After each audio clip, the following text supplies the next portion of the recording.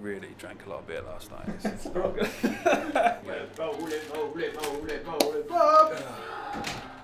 This started after I left the London School of Furniture. I built guitars in my garage for a while, and 25 years later, there are now 10 of us building our own brand of unique guitars out of our workshop in Canterbury.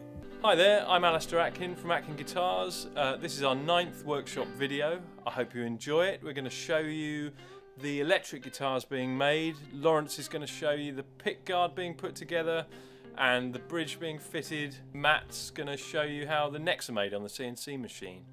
Um, so we're going to cover quite a lot in this episode. Uh, if you enjoy this, please subscribe to the channel. Enjoy the show.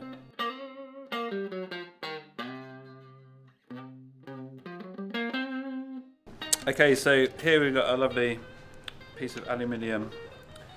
It's a quarter of a millimetre thick, and uh, Matt's machined it to be a shielding plate for a Stratocaster. I mean, an S-type Atkin electric guitar. This one's going on a 63, as it happens, which is over here, looking very handsome on my bench. But the Matt here has- has machined this and he didn't take the tape off, so I'm having to do it, and I'm about to go sand it downstairs. Because if I can hand a job over to you, I'll do it happen. can I borrow the blue handle Watson jigger? Yes, the blue handled Watson the jigger. Okay, so we're going to use a Mirka sander with some 80 grit, just to give this a bit of a tidy up. Also gives it the kind of look the originals had as well. Um, it's really cool to be able to make these in house because we can tweak every little dimension, every shape. If I say to Matt, oh, can you make that bit a bit bigger or smaller, he just does it and the next one's a little bit better, so that's really cool. You can buy them for about eight quid, but um, you just get given one size then and you can't really do your own thing with it. So um, there's going to be lots of variations on pick guards as we, go forward, like different volume knobs and different switching, different pickup configurations, and we can do it all and um, have a custom shielding plate for each one, which is fun for some people.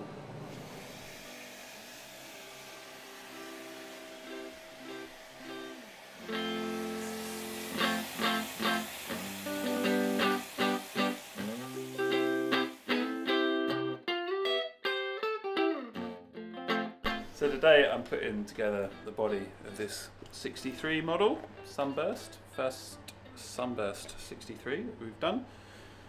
Um, I've just painted the shielding paint into the cavity and put a grounding strip in and the tremolo claw's gone in as well. Um, get to drill holes in it with these really long drill bits, which is quite fun. You ever seen one that long before? That's what she said. And, uh, right, okay. So we've aged the tremolo system. So I've just put this back together after it's all been aged. I've just got these ones in with the Atkin logo on the saddle, which we're all very excited about. You're in there, sweet. See the state of my hands as well. We're gonna screw that on now, check it all lines up. To perfection. We We're going for three springs, and uh, there's a special tool for this, but I'm not a fan of special tools. they always get lost. Right, so I've just attached this. Now, we like to age everything, but the inside is all nice and shiny. Okay, so just aged the, the nuts and the surrounding and all the important bits are nice and brand new. So I'm going to solder some wires onto that and pop that in in a minute. So here's the pick guard, which Phil has aged downstairs, which looks pretty cool. So you make these on the CNC machine, same thing. Um, as with this, it gives us infinite sort of tweakability, making all these parts ourselves. And um, there's going to be lots of custom options and cool stuff coming up in the future as well, which gives us the ability to do that. Um, so we take this, and this one I made earlier. Is the one we just. So that lays on there like that, and that's the shielding paint. So shielding paint. This is the shielding paint, um, the shielding plate. So that stops any horrible noise coming from things like stage lighting and things like that. Also, computer screens. If you're playing in front of your computer, this will cut down on that because we're using um, traditional pickups, so they are noisy in their nature. So everything you can do with shielding with this. This is a cool vintage thing that you can kind of see on the old guitars. You can kind of see this metal plate, which is kind of a nice look, and it's very efficient for shielding. And then we have the, the graphite paint here, and it's all earthed with this earthing strip. This earths into the strings, and then it keeps all nice and quiet. So here we've got some potentiometers. These are CTS um, split shaft, whatever that means to most of you. These are the good ones. They're very serviceable. Um, you can actually take them apart and put them back together, fix them. There's a nice, nice space here to spray contact cleaner in there. I mean, they're really great pots, very hard wearing. Um, that's why we use them. So again, we age the outside. So for the washer, the nut and the washer that you're going to see from where the knob is. If I get a knob. Knobs that Phil is aged downstairs. Um, it kind of looks cool, but you don't really want to age an electronic component. So these are a bit over the top, so I'm going to give these a little, little spruce up. No rust, no shine. That's the, the stuff. That's the mantra for aging guitar parts. Although Alister doesn't mind a bit of rust, so he is the boss. But yeah, I'm more the no rust, no shine kind of guy. Okay, so that will go in here. All these components are the same in that um, it's the same for the volume and the tone. Yeah, audio taper, which means uh, it, it just works well for the way the circuit is on this particular guitar. So we've got a, spring washer to keep it doing that annoying thing where they start to twist around if the nuts come loose. Another great thing about these CTS pots is that they they don't come undone. You just do them up and they stay tight, which is the worst thing if you're ripping out an epic solo and your sound's cutting out. It's just it's not cool.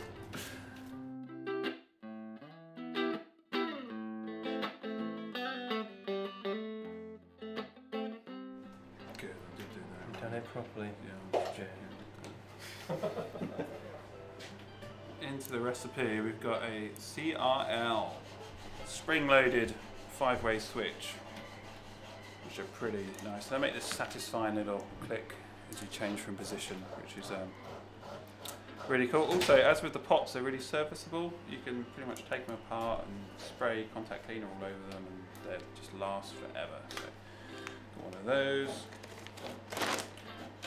Also, we've got a paper and oil capacitor, pretty cool, pretty massive. 0.047 microfarads. There we go. So that's going to look pretty cool. It's going to sound pretty cool as well. All our screw holes are countersunk on these. We did that on the 50s style one as well, on a 54 Strat. It's just a nice touch to have everything countersunk, especially if you're playing sort of any sort of finger picking guitarist will tell you that those big screws really get in the way. Same with the pickups, we'll get to pickups in a minute where we bevel the ends so there's no sharp edges on anything to catch what you're doing. So here we go.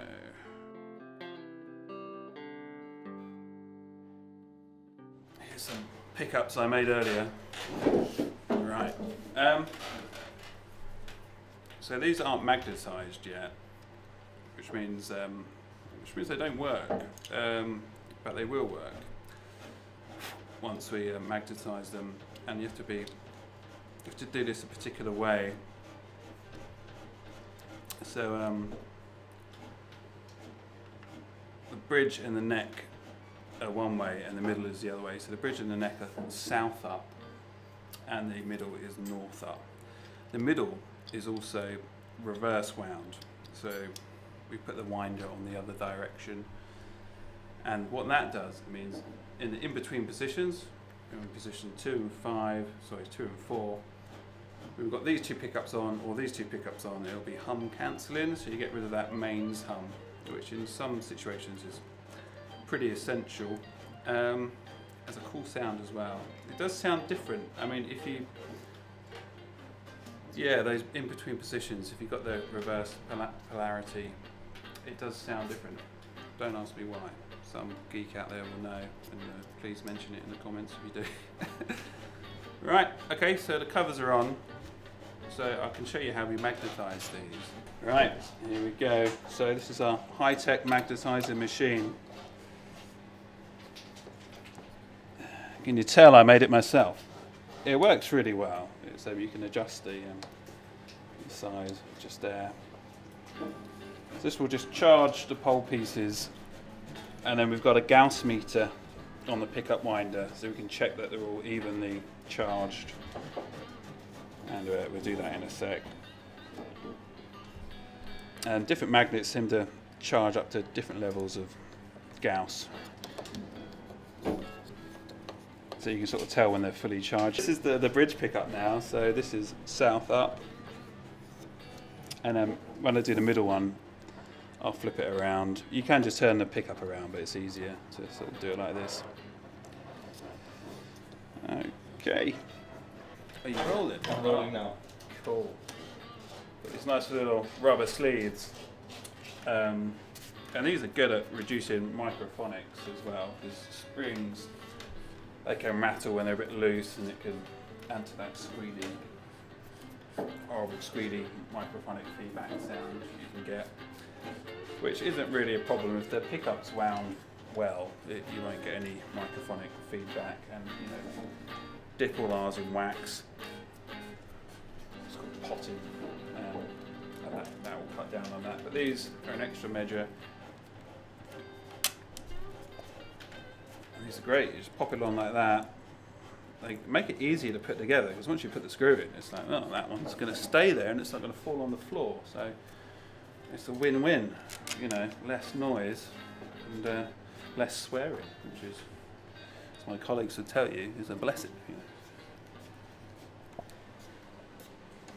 Not saying anything.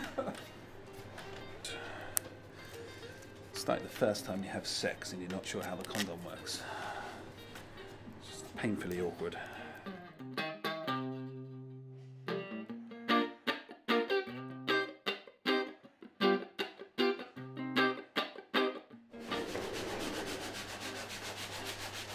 Twisting wires.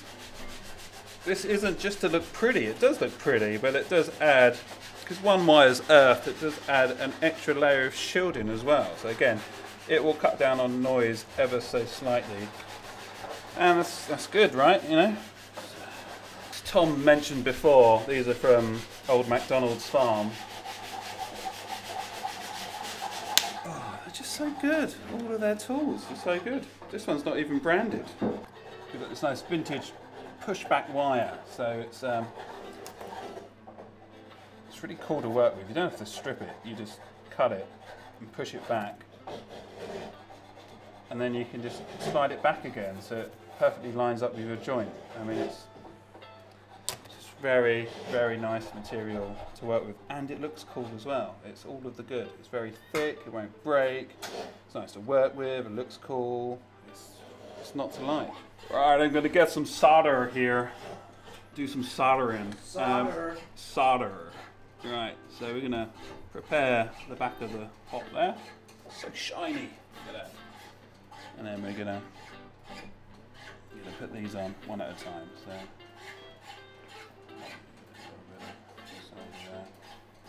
I'm really adept at this.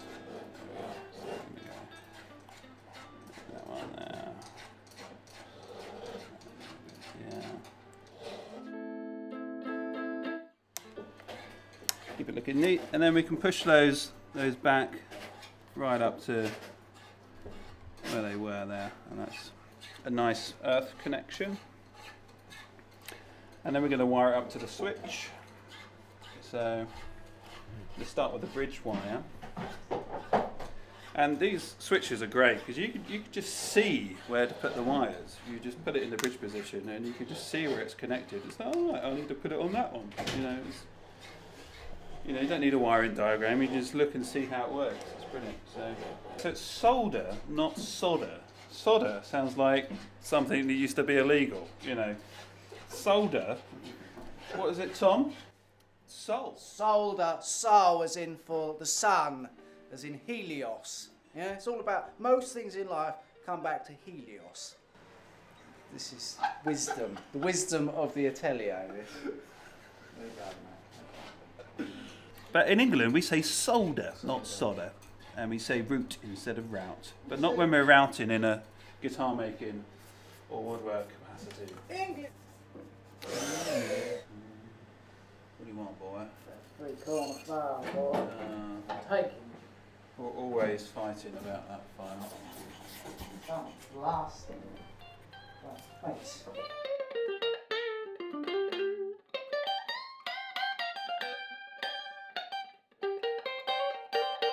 Some heat shrink on the hot wire here, and that's just a, a safeguard against it shorting out the paint in the cavity because the cavity is shielded, so if that ever touches the cavity, that's going to short out and your signal's going to go away.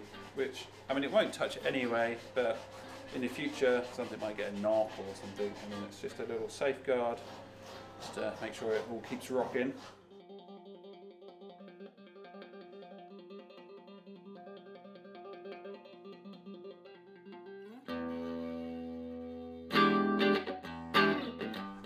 Advanced soldering technique is where you hold the wire and the solder with the same hand at the same time. Is, um,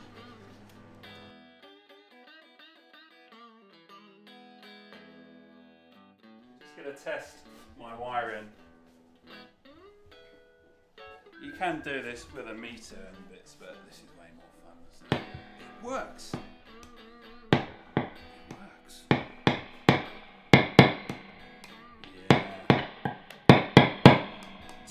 Points. 10 points. Tone control.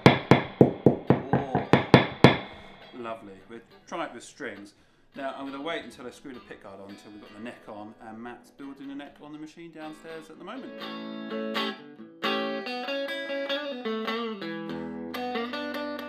This is my world. Computer. Computer number cutting or something.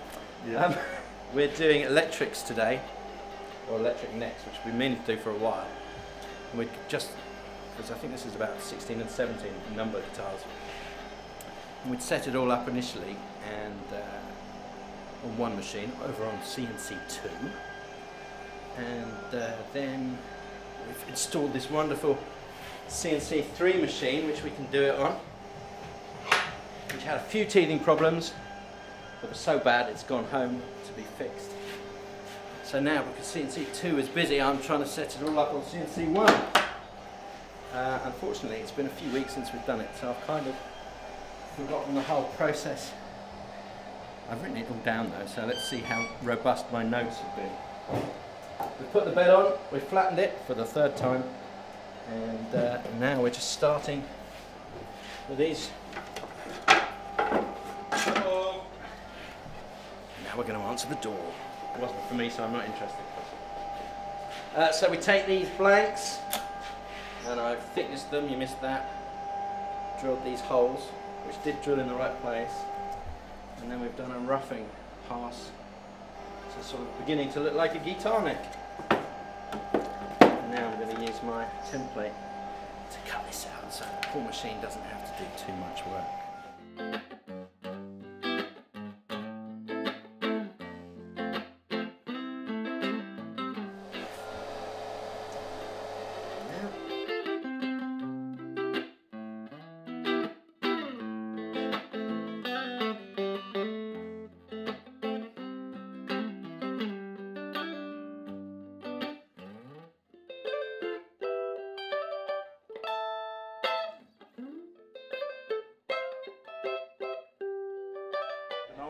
Old one, CNC one.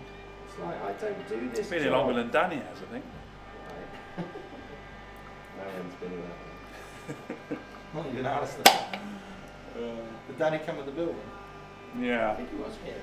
We found a picture of him the other day. It's on the group chat. He's so young. We're roughing the back of the neck out now, um, like the one you saw. uh, which is a six minute process. And then we just go through the list. It's smoothing next. We turn it over and start doing the front. Um, cut a channel for the truss rod. Uh, get the radius on the neck and then it goes to Laurence who sticks the truss rod in and we'll put a veneer um, fretboard on and then it'll come back to be finished.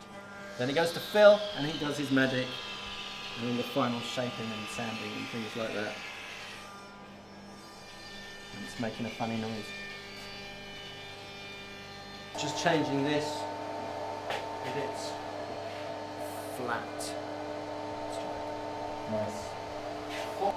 This one is round. So that's the rough cut, and then this will be the smooth cut. And then that's pretty much the end of the back, I think. That's smooth now, with a little, the rounded bit that goes very slowly and carefully across it. So now we're going to turn over and uh, we'll put the radius curve on the fretboard, uh, cut the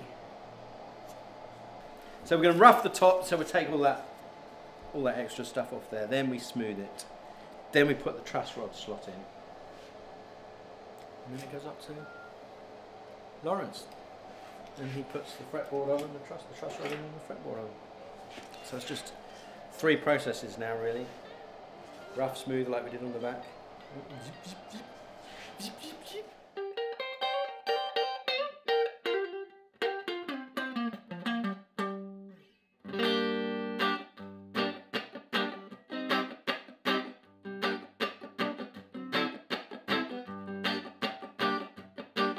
Uh, next been up to Laurence put the veneer board on and the truss rod in.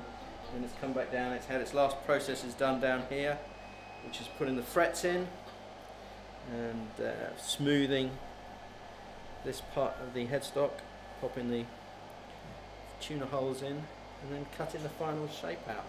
And actually up to this point it could have been a Telecaster or a Stratocaster and then that last shape here is what differentiates it. So I'm going to cut it out of its of its stock, take it to Philip.